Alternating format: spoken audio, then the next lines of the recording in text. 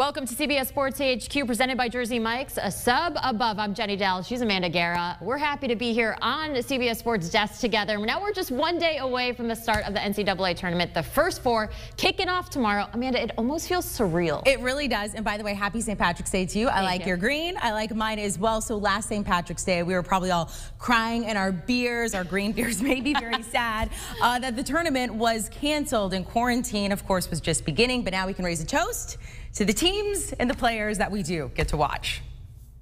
The NCAA tournament is the brightest stage for the youngest stars in basketball.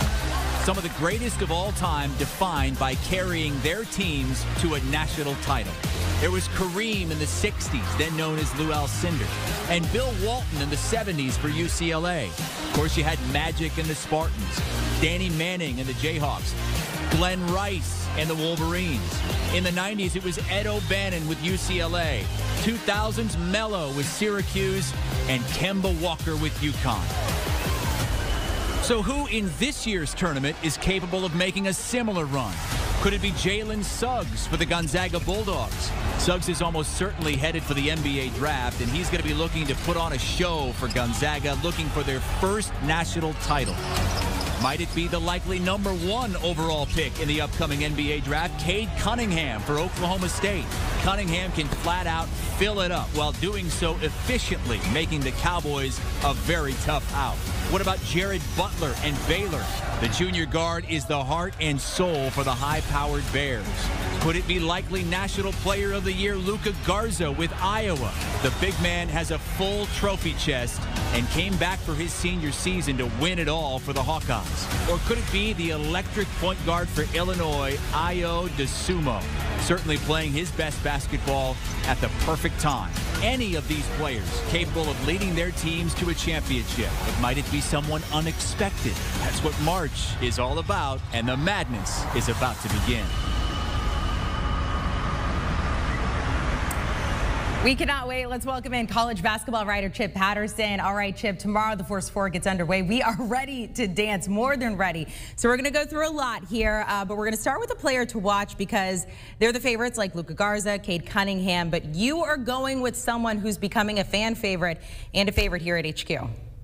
Oh, without a doubt. It's Illinois guard Ayo Dosunmu, uh, somebody who at the middle of the season when Big Ten play got underway, you just started to recognize that when it's winning time, Brad Underwood puts the ball in Dosunmu's hands.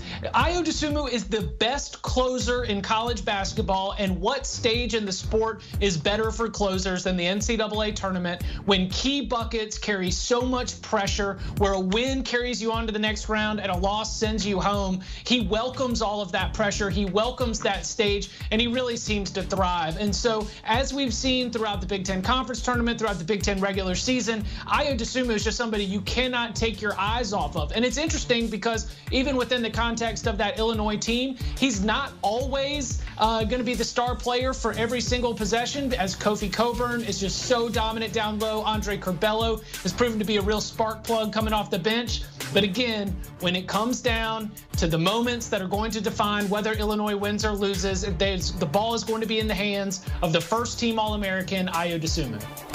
And he looks like a superhero, which is probably the coolest thing about it.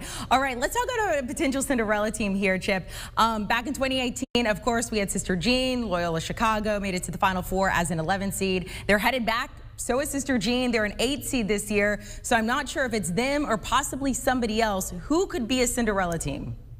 So I'm drifting over to the Ohio Bobcats from the MAC. And the big reason for that, uh, number one, has to do with Jason Preston. Because what Ohio has is a legitimate NBA player at point guard. He's a 6'4 playmaking guard, does a great job of making reads, distributing the ball, and being able to be, as you see right there, a dynamic scorer. And so when I think about what a Cinderella needs, a Cinderella needs to have a player who can take over when all of a sudden everybody else starting to get a little bit tight. When everybody else is wondering, okay, are we going to be able to actually beat Virginia? Are we going to be able to actually beat Creighton to be able to make it to the Sweet 16? And Jason Preston has the kind of NBA talent that makes me think that he's going to be able to go and take over. They absolutely rolled through most of their opponents in the MAC. They were cut above everybody else, and that's a big reason why I like the Bobcats to be able to make it into the second weekend.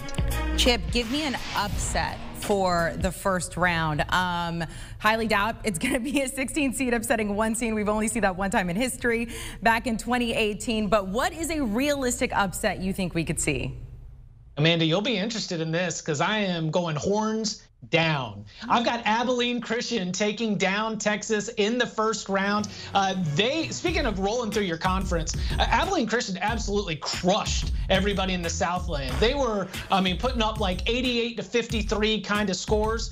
Got a top 30 defense nationally, including one of the best three-point field goal percentage defenses in the entire country. They turn opponents over. They play at a fast pace. And I think that when we've got this Texas team that just winning the Big 12 conference tournament just seems like a huge accomplishment. It just seems like real validation for Shaka Smart and this squad. And I think that they might get a very, very hungry in-state rival here in the 3-14 matchup. We don't always see it there, but Joe Golding's Abilene Christian Wildcats are absolutely capable of causing real problems. Just look at what they did this year because they challenged themselves. They played Texas Tech in December, only lost by seven. They played Arkansas in December, only lost by 13. They have played, you know, three seeds, six seeds in the NCAA tournament. They know what they need to do in order to win, and I think they might catch Texas sleeping here in the first round. All right, Chip Patterson, hang on just a second. We're going to take a quick break. Uh, while we do, we want to remind you that you can find your bracket on CBSSports.com. Make sure to print it off. Get in the game. There's a chance to win a lot of cool stuff. CBSSports.com forward slash bracket. We'll be back in 60 seconds.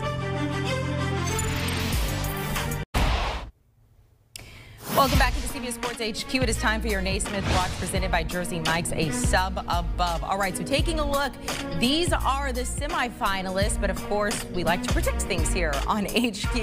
And for that, we bring in our college basketball writer, Chip Patterson. Chip, out of those finalists, who do you think should win?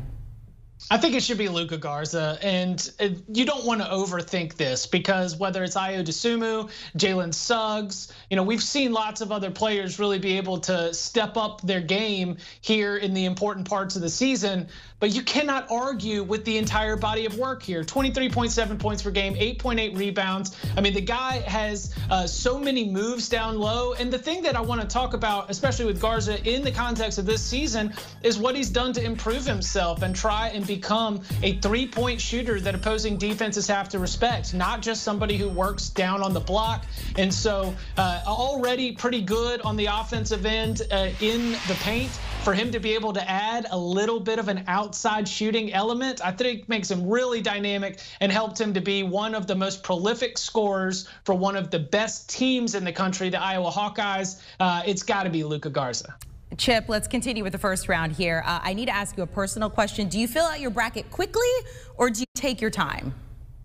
30 minutes and it's in and on it's CBSSports.com. Oh. Uh, yeah, I mean, that's for the expert bracket. That's how much time we've got. So I start off uh, before the bracket is announced, and I've got my plus teams, my neutral teams, and my minus teams. And so if a plus and a minus fall against each other, boom, that's an easy decision for me. I fill it out, I ride it the entire way. It gets a little bit reckless. I've got some crazy upsets, and you can check it all out at CBSSports.com. Okay, so the reason I ask, I want to ask your most difficult game to pick round one. Um, I pull my hair out, I, I, fill it out, I walk away, I come back. So what is your most difficult game to pick or that you did had to pick uh, in round one there? It's Colorado and Georgetown, and it is all sentiment. It is because I love, capital L, love the Patrick Ewing leading Georgetown to the NCAA tournament, uh, doing it by winning in Madison Square Garden, winning the Big East Conference tournament, uh, doing it from uh, being predicted to be one of the worst teams in the Big East, having a low seed. I, I want to pick Georgetown to go to the next round. I want to pick Georgetown to win. Amanda, this is the first game of the round of 64, 12-15 on Friday. The entire world will be tuned in to see Patrick Ewing in Georgetown against Colorado. And the reason that is the most difficult game to pick is I'm picking Colorado. I just think they're the better team. I think they are great defensively. McKinley Wright, the fourth, gives the Buffs a real game changer who can put the game into his hands. Uh, if it does end up getting close late, you always want to find those kind of guards, especially when they are seniors and veterans. Colorado is going to try to make this game ugly. McKinley Wright can really help them win it.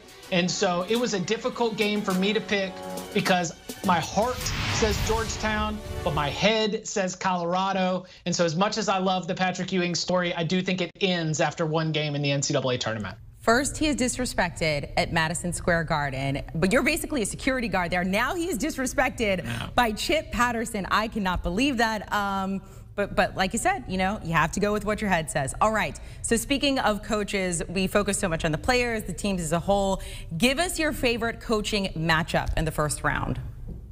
Oh, that is without a doubt going to be Loyola against Georgia Tech because to borrow from our friends Gary Parrish and Matt Norlander on the Eye on College Basketball podcast, they have four region by region previews that you should absolutely go and download. They're great uh, for any task that you've got. But they said this is the meeting of the most earnest coaches in college basketball. Porter Moser for Loyola, Josh Pastner for Georgia Tech. These guys are just good guys, and you want to root for them both. And they are both excellent X's and O's, particularly on the defensive side. Uh, I think that Loyola is the kind of team that if Loyola goes on to play Illinois in the second round, that is a tough matchup for the Fighting Illini. They're a top 10 team in KenPom. They're great schematically in terms of how they mix things up. And Josh Pastner has done an incredible job developing this Georgia Tech team. Jose Alvarado, uh, ACC Defensive Player of the Year, someone who was very, very lightly recruited. You know, Moses Wright,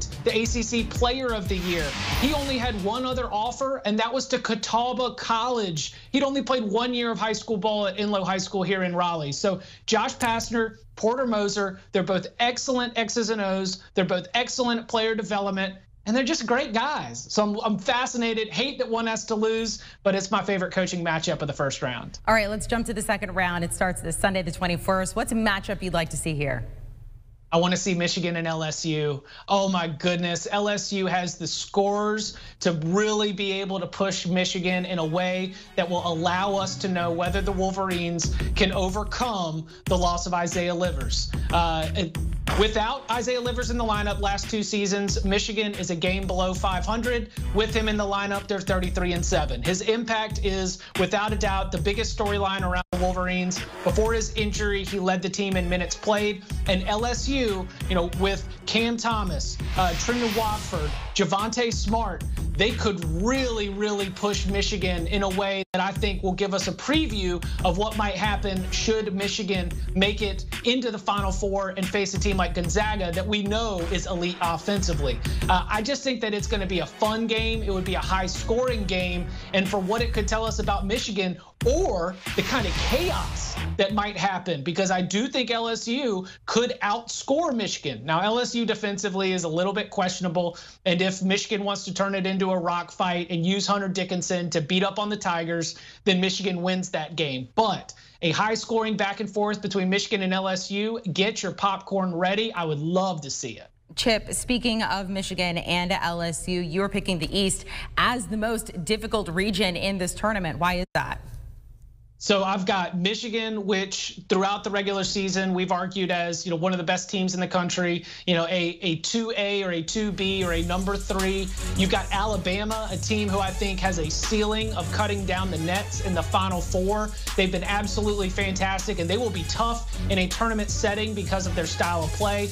Texas is so hot coming off the Big 12 tournament. We know Florida State could make a deep run based on what we've seen Leonard Hamilton do, taking a nine seed Seminoles team to the Elite Eight just a few years ago. I mean, and then just throw in Michigan State and UCLA, blue bloods, the elite coaches with Tom Izzo and Mick Cronin. And oh, yeah, here's UConn hanging out here on the seven line. I just think that Michigan got the toughest region. And sometimes we see that. Michigan was the fourth number one seed, so they get the number one, number two seed, which is Alabama. But then, even as we continue to fill it out, uh, all the way down to that seven seed UConn, all the way to a Michigan State 11, I just think there's a lot of really dangerous teams in the East. Then all of them could take down the Wolverines in a single game scenario.